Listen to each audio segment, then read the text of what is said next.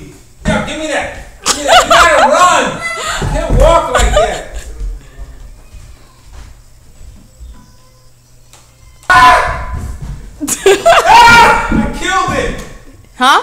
I killed it. You murderer. Is it really dead? Yeah. Put the box over it. Could you could you come here? Cause I need your help. Why is that in here? I need the box. Get the box. You have a box. No, not that one. I want the one that could throw away. What? Hey, come here. It looks pretty dead. It looks pretty dead. Come here, Lily. Not bad. It's stunned it.